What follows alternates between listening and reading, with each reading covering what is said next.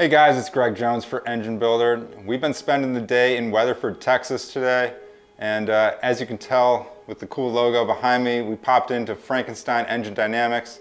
I'm joined by Jesse Meagher. Jesse, uh, you're a senior product engineer designer. That's I- I correct. probably mixed up words there. Ah, close enough. Close enough. right. Yeah, it's just a title. Um, but yeah, I'm, I'm just the guy responsible for uh, taking a lot of our concepts uh, from the design phase to modeling to CNC programming and prototyping. Yeah. So guys, you know, I'm super excited to check out Frankenstein because as many of you know, they make some badass cylinder heads, badass intakes, uh, a ton of awesome products. And Jesse's behind that and uh, he's been kind enough to uh, take a few minutes to tour us around the shop. So let's go, let's uh, follow Jesse and Let's uh, do it. Come on, out. guys.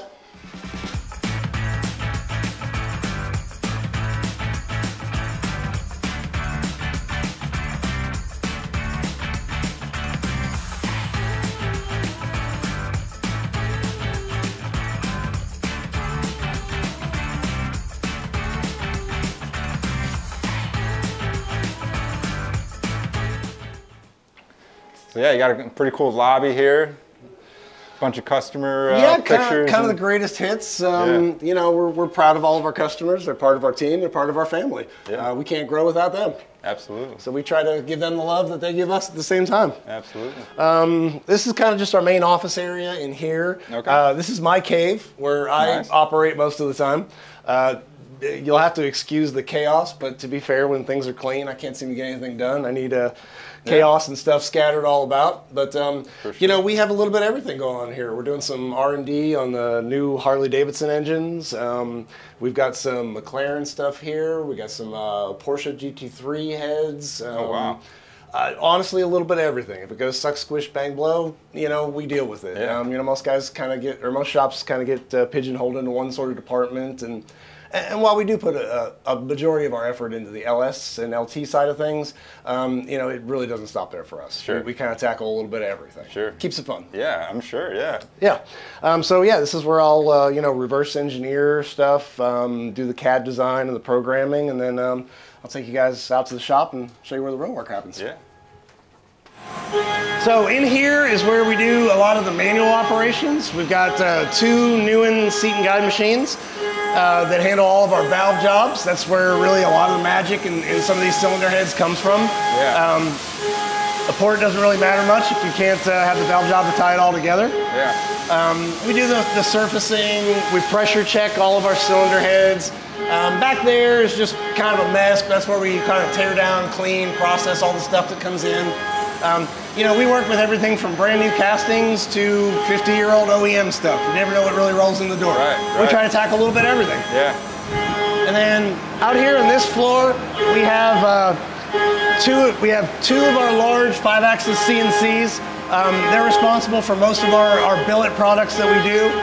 And then we also have uh, two five-axis Centroids that we use exclusively for the cylinder head porting. Okay. Um, but when it comes to the cylinder heads, all the magic actually really starts in this room. Uh, this is a room where we do all the hand-ported designs.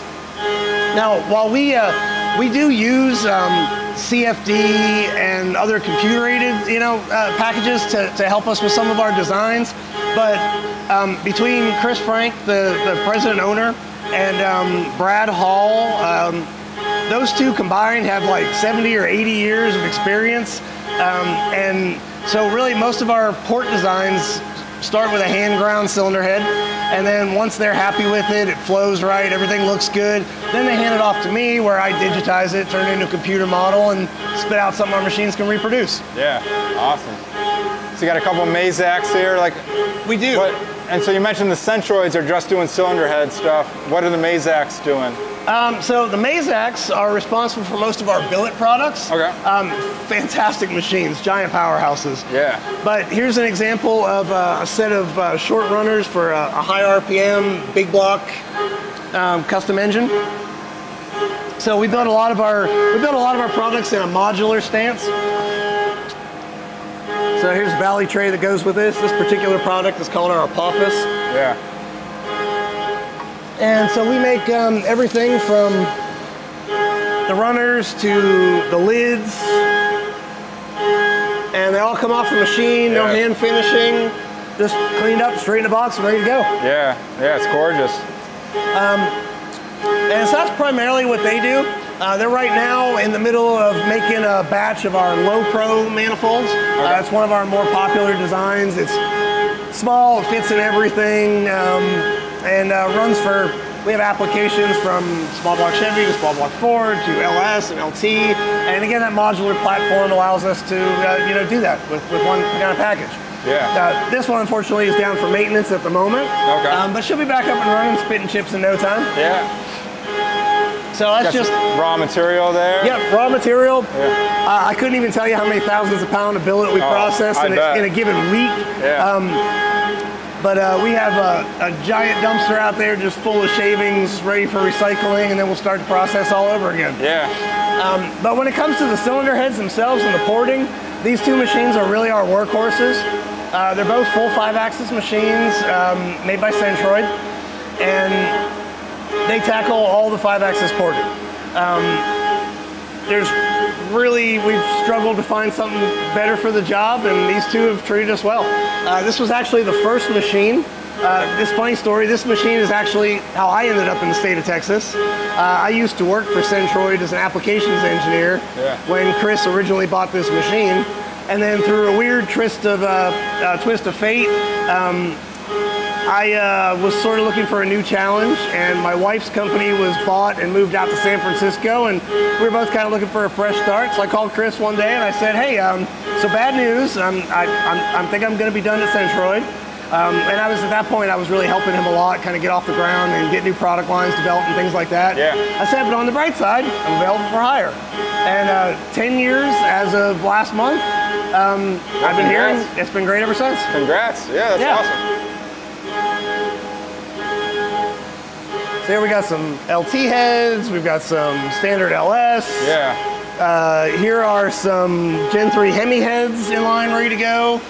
Um, this is, of course, our, our flagship product here, our F Series cylinder heads. Yeah. Yeah. We've Eh. written, written about those. Yeah. Yep, and we uh, we have those in a number of different varieties, um, and they they start life over here on uh, this other Mazak. Okay. I don't know if anything's in there at the moment. Now, unfortunately, it's empty at the moment. Okay. Um, but basically, the castings come in as a raw casting. They get cubed here. They get a secondary operation on uh, one of the three Mazaks for push rod holes, spark plugs, uh, things that require compound angles. Um, and then they get their, their finished porting on the Centroid, and then valve job, and out they go. Yeah. So we, we tackle cool. that all right here in house.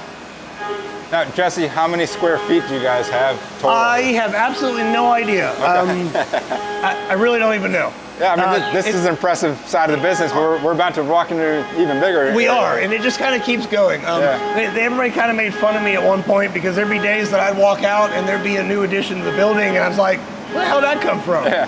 For real.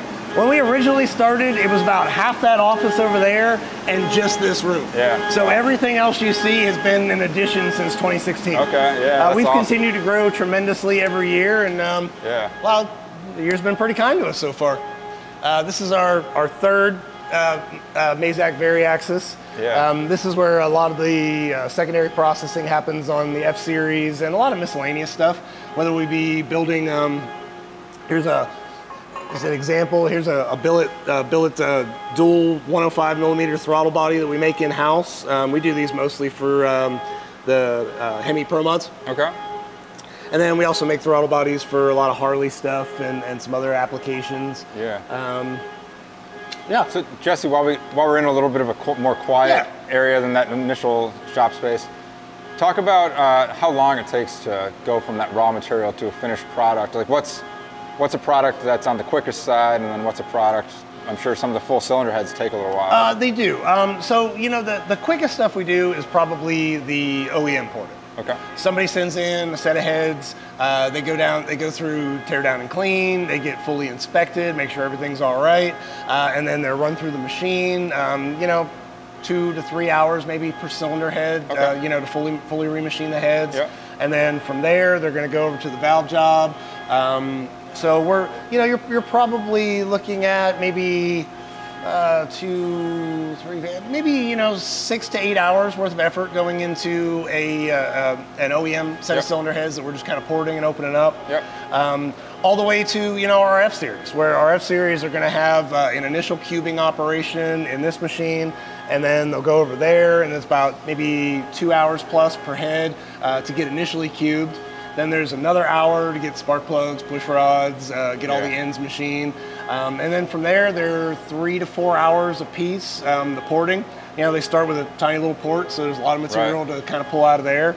Um, then you know after that, you know, you add another hour or two for valve job.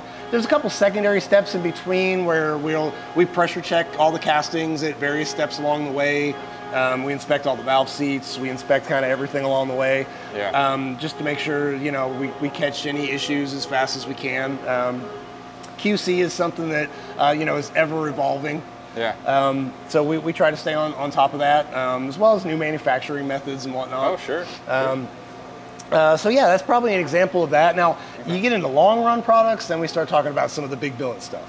Uh, some of our big billet manifolds, we may start with um, we may start with you know six seven hundred pounds worth of raw billet, and it may be 40 hours of machining to Right. you know whittle it down to uh, 20 to 30 pound complete intake manifold. Yeah.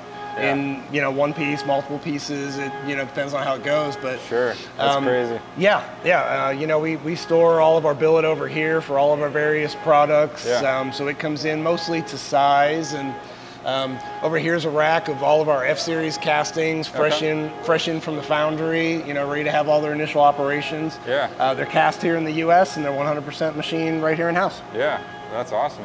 Yeah. And Jesse, you were also saying you were employee number one. I was. Uh, how many employees are Frankenstein today? Uh, right now we're in like the mid 20s in, Okay. in employees. yeah. Yep. Nice. Yep, we've got a we've got a good stable sized crew. Um, you know, everybody's really fantastic. Everybody works well together. We often wear a lot of hats, I'm sure. uh, but um, that's just what we need to do. yeah. You know, we're, Very we're, cool. we're just everybody's a part of the FED family. You know, everybody believes in what we're doing and uh, what we're trying to achieve, and you know, our customers do as well. As long as that carries on, well, the future looks pretty bright. Yeah. You're, you're rocking and rolling. Yeah. Um, over here we have our uh, engine building room Okay. and dyno. Yeah.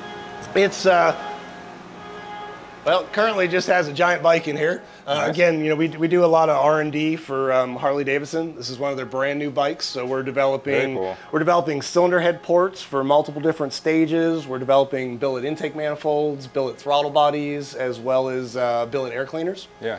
So that's kind of what we're doing here, and then the dyno in here. Oh, this is cool. Yeah. So we do have a, a full in-house engine dyno here. Wow. Uh, this is a custom Superflow unit. I think it's good for about 6,000 horsepower. Um, we built this so we could cover everything from street cars all the way up to the big pro mods. Yeah. 6,000 horsepower. That's pretty serious. It's a little scary at times. Yeah, I'm sure this is all It is. bulletproof. and- It- oh, it, it is. Yeah, Yeah. yeah. And uh, we always kind of joke, you know, what the weather in Texas is like, right? So everybody's huddling in here when a, a Right, tornado comes right. through. Yeah, good call. Yeah. And uh, the- Awesome artwork there too. Yeah. Yeah, I wish I could remember the gentleman's name. He did some custom artwork on some of our garage doors as, as well as the mural in here. Yeah. Um, but uh, yeah, it's been pretty good. We've got um, there's an LT um, mule motor we have there. There's our LS mule motor. It's kind of hidden up. Mm-hmm. Yeah. We uh, we generally get this all fired up and running every time we develop a new cylinder head. We run it through its paces here. We look Yeah. at the valve train. We look at the power. Um, we compare it versus you know we test different intake manifolds. Um, you know whatever whatever we can do. Yeah. You know we rely on our customers a lot for for R and D. You know because there's there's always a big separation between what happens on a dyno, what happens on a flow bench, versus actually going down the track. Absolutely. So you know, at the end of the day, that's the only thing that really matters. But um, you know, we make sure we got a pretty good fighting chance before things go out the door for the first time. I'm sure you do. That's awesome. And then uh, right in through here, uh, it's just kind of our manual machining station.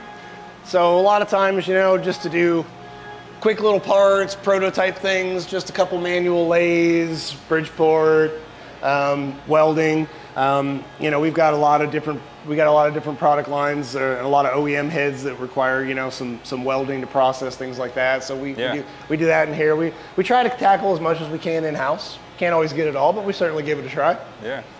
And then um, oh, there's an odd random uh, BMW cylinder head. Yeah. That's actually what I race. Okay. Yeah. Those, I mean, those are pretty popular. The, Yeah.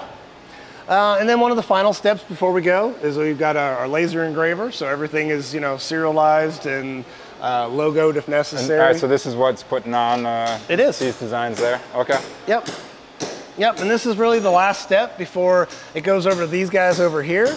And um, so once everything's all machined, it's checked out, it's QC'd, lasered, then it's just ready for final assembly and out the door we go. So these are all various heads uh, just waiting in line to, uh, to get the, their, their final assembly and, and, and go. Um, tipping all the valves, checking all the installed heights. Um, we uh, pressure test each cylinder, make sure the valve job's good. And Yeah. so we just, again, multiple, multiple QC steps along the way. Um, so, you know, we try to catch everything before it goes out in the Yeah. wild. And so from just kind of like your standard cylinder head to having some actual components in it, do you guys send them to customers with anything else besides just the cylinder head? Most of our cylinder head packages are complete. Okay. Um, probably the vast majority of them go out complete. Uh, we have our own we have our own custom spring kits and Ti retainers uh, that we have different kits for different applications, different lifts, things like that. Uh, Okay. That's what Jose over here is working on right now. Is putting together a set Yeah. of our our uh, Monster Series 311s. Okay. And um, so again, he's uh, installing the installing the guides, uh, installing the seals, Yep. uh, tipping all the valves, making sure all the installed heights are where we want it, shimming everything as necessary for a given lift, given spring kit. Yeah. Uh, and then they'll again they'll be vacuum checked every single cylinder uh, before they get packaged up in a box. Awesome. And. Jesse, do you happen to know some of the production numbers in terms of you know how many heads you guys are getting through in a given week and, and sending out? You know, I honestly don't. Yeah, just No, just be a I- guess. yeah, I, I honestly don't. You know, uh, again, as, I mean, it looks like you're doing a pretty good volume. It, based it on is. We, we've got a lot of product going through here year in and year out. Um, Yeah. But again, you know, most of the time I spend my days in my little engineering cave, and so I, I don't, I don't always Yeah. stay on top of you know how Stuff's much happening moving. around you, right? Right. all, all I know is I got a long list of projects. I'm trying to spit out a bunch of new products. Uh, you know, meet everybody's needs, and uh, so I sometimes I miss some of the bigger picture. Yeah, yeah. Very cool. You, you mentioned a couple of the other products that you're working on, like the Harley stuff. You had Mm-hmm. the Porsche uh, head in there, as well as some McLaren things. You know, what else is Frankenstein starting to delve into? You know, Um, without well- without getting too far ahead of yourself. or- Yeah, I, I can't let out all the secrets. We Yeah. do we do have two new products. Um, we do have two new cylinder heads that are in the works, uh, which I can't really talk about right now. Okay. Uh, we're ironing out the details, so we Is it is it domestic? Can you say Uh, that? it is. It is domestic. Okay. It is in fact domestic. Okay. Um, so yeah, definitely uh, keep an eye out on our social media and, and things like that in the Yeah. in the near future. Next month or two, we, we expect to have some big developments. Um, we're working on a, a brand new uh, ProMod engine platform um, that's uh, going to be kind of exciting down the road. We're, we're trying to take a very different twist on that. So um, uh, would look for that maybe towards the end of the year. We might have something kind of exciting there. Nice. Um, that's uh, that's probably about it for now. Um, I mean, we have uh, we're, we're we're doing kind of a refresh of some of our intake manifolds. Um, you know, it's funny when we design some of these things. Or I should say, it's funny how the industry has changed, right? You know, uh, ten years ago when I got here, you know, eight nine hundred horsepower was you know this was crazy insane power, right? yeah. And then next thing you know, it was like nobody was interested unless it was a thousand horsepower car. Well, now your mom's minivan's a thousand horsepower, and you can buy that shit off the lot. Yeah. So, uh, you know, now we've got customers pushing traditional LS cylinder heads. Uh, we had a customer a couple months ago make almost 3,000 horsepower Right. uh, to the wheels. Yeah. And so it's just an insane amount of power. So it just forces us to, you know, kind of revisit some of the old things, make Yeah. sure they can keep up with the current demands and, and the extreme conditions that some of these guys are putting them in. So, uh, you know, a lot of times it's not always super sexy, you know, just refreshing some old stuff, but it's how we keep up and stay on top of our customers and stay on top of the industry. Yeah, for sure. The the bar is definitely it keeps going It up. continually gets raised, yes, at, Yeah. a, at a shocking rate. It kind of it kind of makes me wonder when you know. Well, and you're the one helping do that, right? You're helping keep pace with uh, with Uh, we, we try, we try, and then again, you know, we, we try to keep uh, you know all the modern tools employed. You know, we we use uh, FEA analysis uh, to look at uh, a lot of our, our intakes and our products, make sure they're structurally sound, make sure they can handle the insane boost levels models that our customers are making these days. Yeah. Um, you know, we'll use uh, CFD to look at new new manifold designs, make sure uh, you know everything's being fed nice and evenly. You know, we get the kind of flow we want. Um, and then uh, you know the most important step is is taking that and then getting data from customers, getting data from the flow bench, so we have that correlation between the simulation and reality. Yeah. Without that correlation, you're just hunting in the dark over here and spitting out numbers, and they're kind of meaningless. Yeah. You know, it's easy to make pretty arrows on screen, but you know, it's, it's tying it all together that kind of makes it important. Um, so that's a that's kind of a big part of what we strive for, and, and you know, I'm, what I'm involved with here. Yeah, yeah, Um, definitely. and even you know, silly little things like I, I shouldn't say silly little things. Sorry.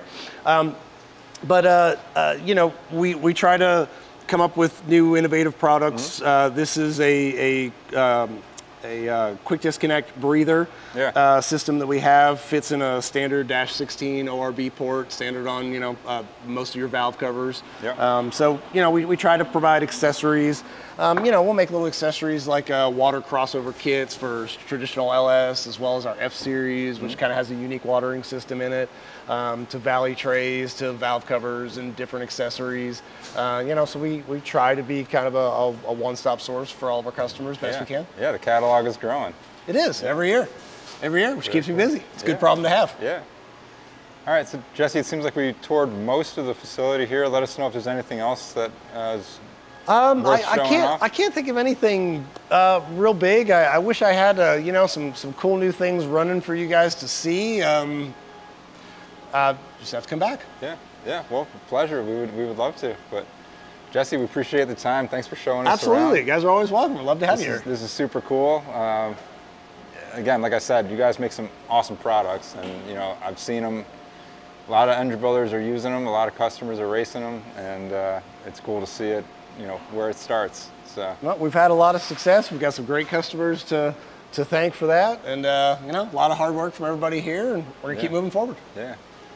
Well, guys, that does it for this shop tour of Frankenstein Engine Dynamics. Again, want to thank Jesse, and uh, make sure you guys are checking out everything that FED is doing. Uh, again, like I said, tons of cool stuff. If you have questions about what's going on here at Frankenstein, make sure to leave that down in the comments, and we'll pass that on.